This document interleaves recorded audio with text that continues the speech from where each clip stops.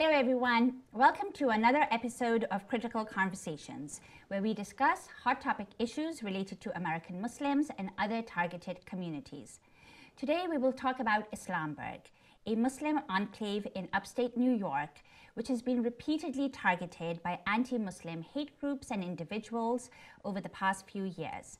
Islamberg was most recently in the news earlier this year when local authorities arrested four young men who were planning to attack the community with heavy uh, weapons and explosives. Why is this community repeatedly being targeted?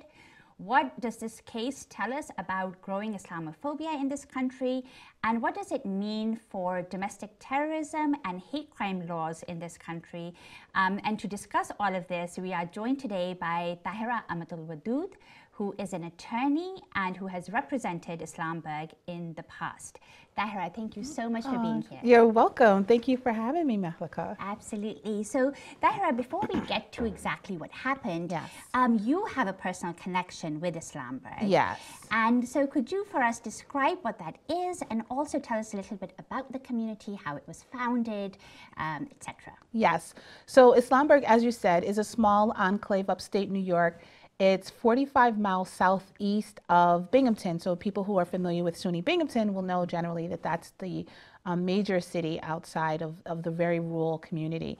Um, the communities in towns that are called Hancock and Deposit because they're small towns and sometimes there's some overlap between what crosses the boundaries. And the community was established in 1984 mm-hmm. by um, Muslims who had converted from Christianity, most of them to Islam, and really sought to leave the inner cities and to save their kids from some of the blight that occurs in in poverty-stricken communities, and particularly in the 80s, it was really rampant in Brooklyn. And, and I lived in Brooklyn at that time with my parents who also had converted. So at in 1984, I was whatever, nine years old or whatever age that I was. And um, as the families left the inner city, some had purchased property in New York, and that's mm-hmm. the community that is, is, known as Islamberg, and others moved to other parts of the country that just were safer. Sure.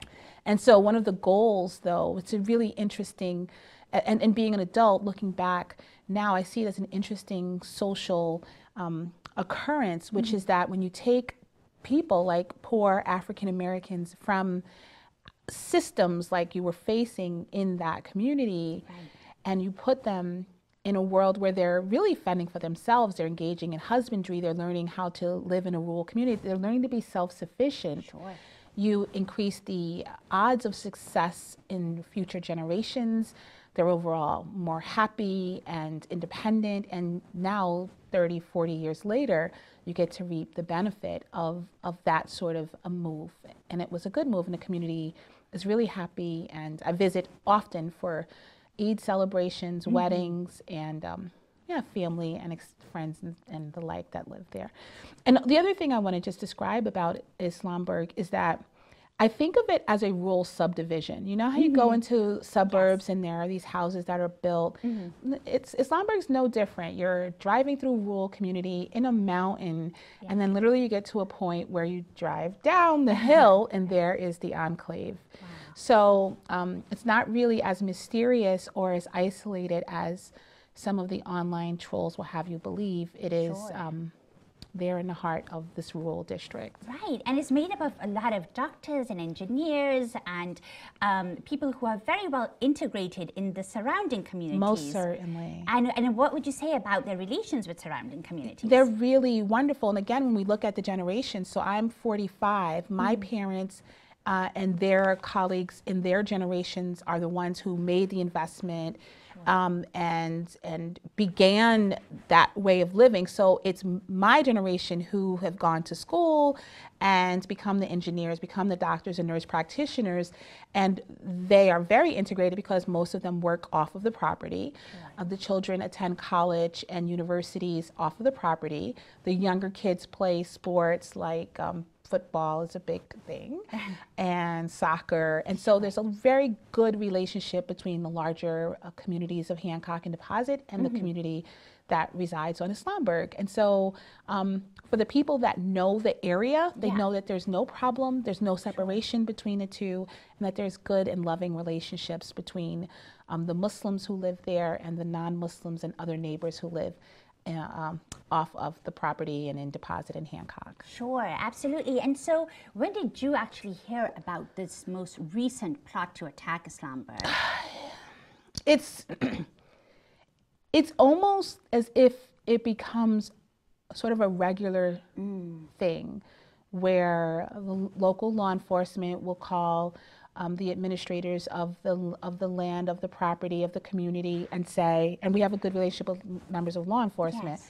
And of course, I don't live on the property. I don't live in New York, mm. but my proximity in terms of growing up um, close to the community and, and serving as a lawyer to get us through some really rough patches where we've been on the, the receiving end of some serious threats has me um, there's no separation. It's up close and personal. Sure. And what happened was similar. The lo local law enforcement had called um, some of the administrators and said, "This is what's happened.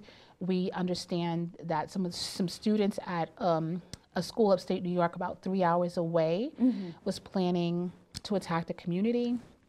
That the plan was real, and that had it had they ventured to actually take steps to do it, mm -hmm. there would have been loss of life." Wow. So it was not just kids sitting talking, it was a plan that had been um, carefully prepared and they did not mince words. Law enforcement did not mince, mince their words when they said if these, some of them were not students, some of them were uh, young adults. Right. Had they gotten close enough, people would have died. Wow.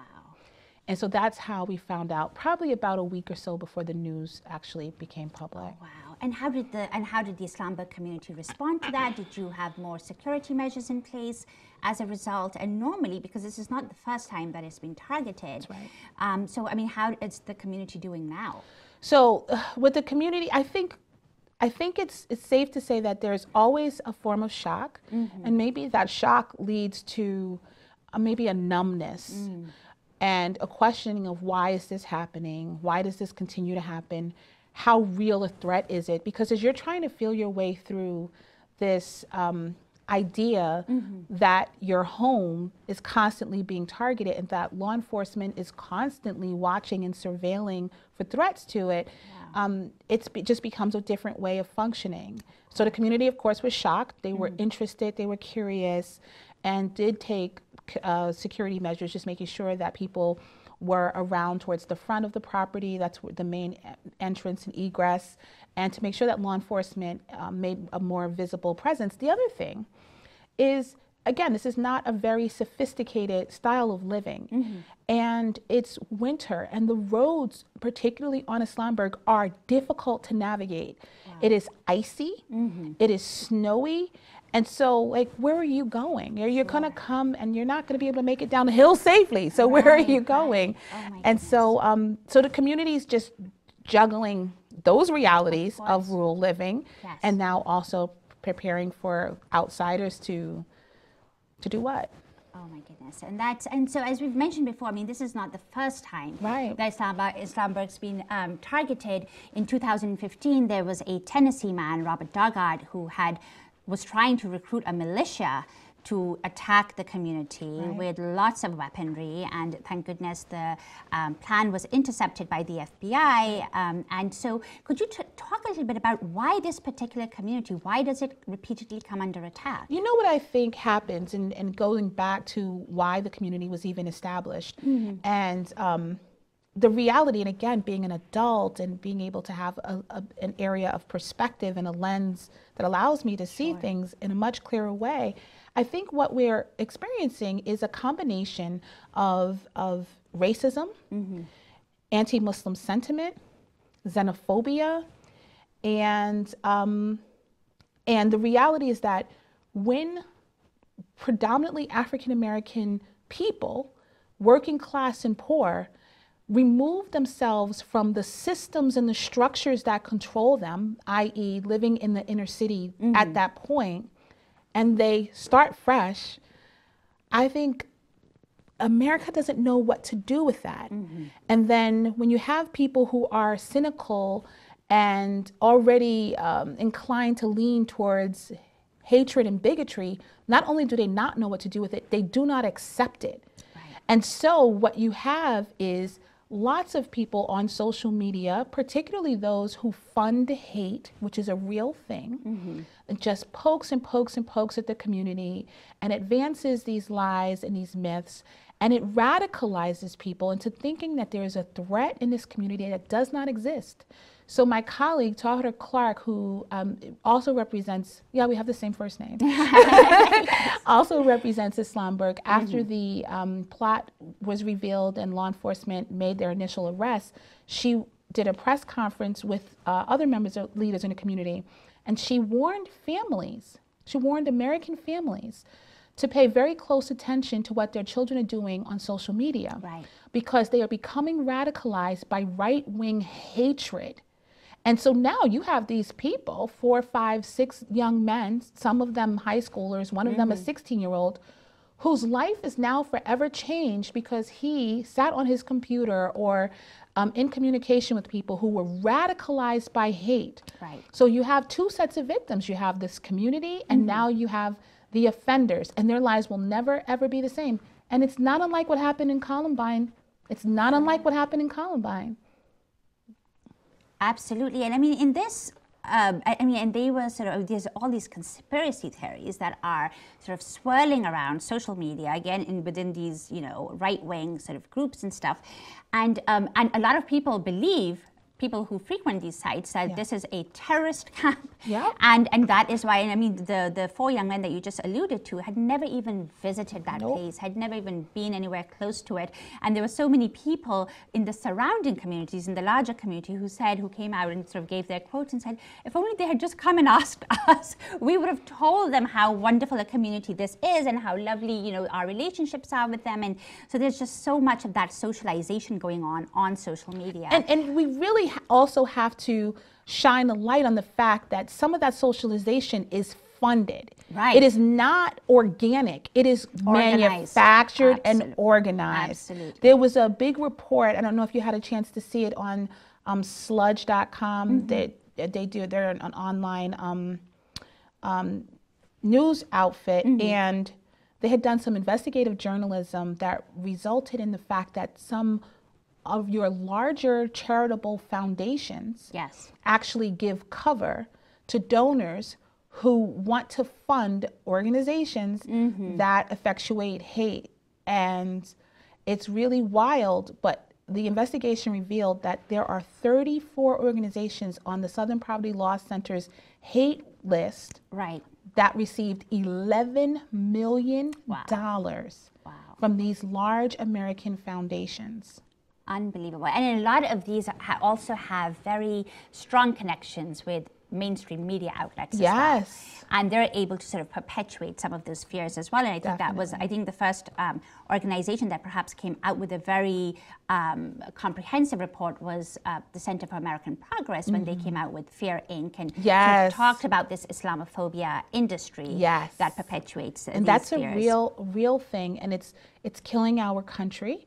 It's harming not only Muslims or those who are perceived to be Muslims, but also regular young people in this country who do not understand what they are seeing and cannot process and understand that propaganda right. has taken over Absolutely. lots of the airways. Absolutely. And we'll get back to this point as well about how do yeah. you counter some of this. Yes. Um, and so right now, uh, Robert Doggart, again, the person from Tennessee, yes. he is um, serving a 20-year sentence, but his case is currently under appeal. Right. Um, so what is his current status of incarceration? Right. So he was definitely convicted by a jury. Mm-hmm and of all the charges that the U.S. attorney had pursued against him, it was considered a major victory.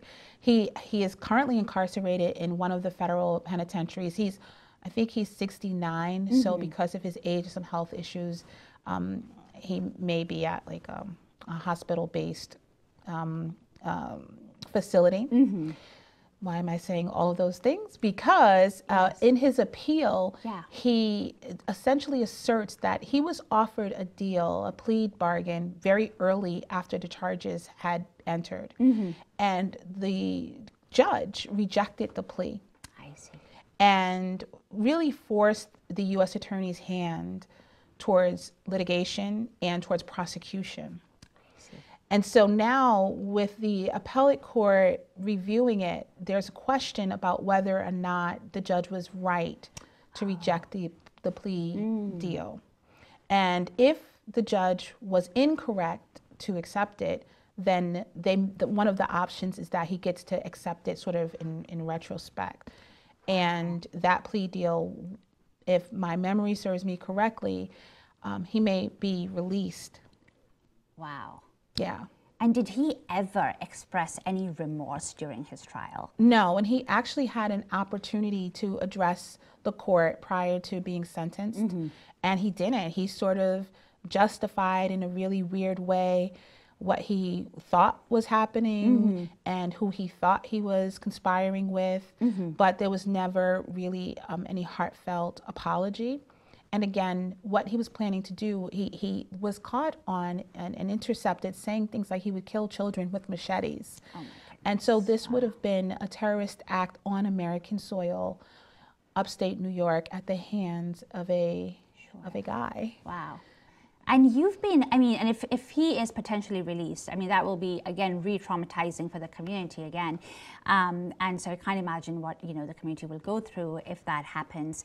Um, you have been frustrated by the fact that a lot of these people, whether Robert Doggart or um, Bowers, the person who attacked uh, the Tree of Life Synagogue in Yes. Pittsburgh, or Dylann Roof, who attacked worshippers in Charleston, um, that they have not been charged uh, on domestic terrorism charges, um, and uh, instead have been charged for hate crimes. Yeah. And so, why is that? Why a? I mean, how would you define domestic terrorism? And I mean, if just by hearing about it, like you know, something that is politically motivated Yes.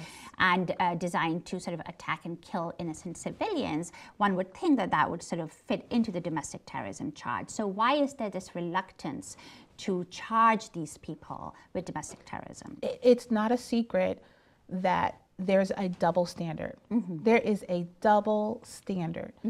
The other thing that's not really a secret, and again, being a lawyer and dealing with the issue at hand and then examining the policies that prosecute these issues and potentially prevent some of these issues, I've learned a lot. Mm-hmm. So, for example, under the United States Code, there isn't actually a domestic terror crime. There is no teeth in the definition of domestic terrorism under the US Code. It just doesn't exist. And so a person could be charged with all sorts of things that are domestic terror related or attempted murder and other things, but that um, title and the sort of emotion that it evokes when you hear that somebody's been charged with domestic terror will not occur unless the person is found to have had some sort of influence or involvement with an international um, organization I see, a foreign agency. a foreign agency. So, by statute, under the federal code, they can be charged with a lot of stuff, but you mm-hmm. will not hear domestic terrorism being one of them. You'll hear other words like mm-hmm. domestic terror related. The interesting thing is that for this most recent attack in Islam, of a threatened attack of Islamberg mm-hmm. from the um, the young men in Greece, New York, three hours away, is that New York State actually does have a terrorism charge, oh. Which, when we were looking at it, we think it was sort of inspired by 9 11.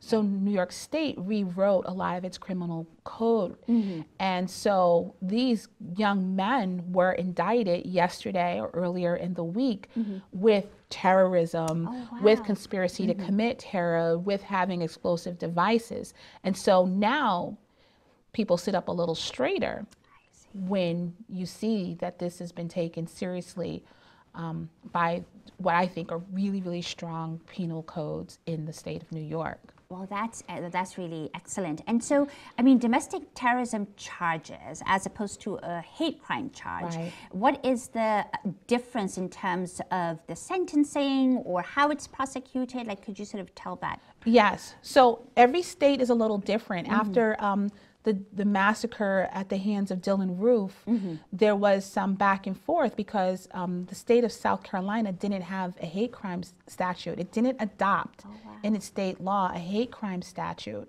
And so um, people were really upset and was afraid that he wouldn't be punished and it wouldn't receive the the full force of the law that such an outrageous massacre of worshipers should. And there was a lot of pressure for the Obama administration's Department of Justice to take over um, that litigation just because of some of those factors and political and, and people were very angry. So every state has its own set of laws around what is a hate crime and and again the issues of terrorism and how we define it. Generally speaking, hate crime is a crime that is committed on someone because of their identity in some form of a marginalized class.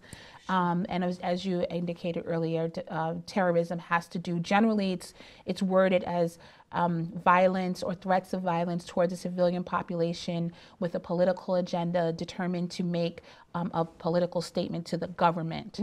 Um, uh, so and, and and the difference in how it's sentenced and how they're enhanced, I don't know because they do vary, um, but they are enhancers to the underlying crime that these people would have done, whether that's murder, whether that's mm-hmm. attempted murder, conspiracy. Those other charges are enhancements to those underlying primary crimes. Sure. And is this is sort of setting a precedence, or is this the first time that this has happened that they're being sort of charged with something so? I mean, not those four individuals, but the fact that the Department of Justice is bringing those charges to bear. So the so right now the, with the Greece New York case, it's only pending in New York State. So the Department of Justice hasn't taken um, any um, jurisdiction yet. Yeah. But some of the early conversations that we're having say that they may. And of course, the Department of Justice is in a state of transition right now with its own leadership. Sure. And so what will happen or what will come of that remains to be seen. But New York State is on top of it.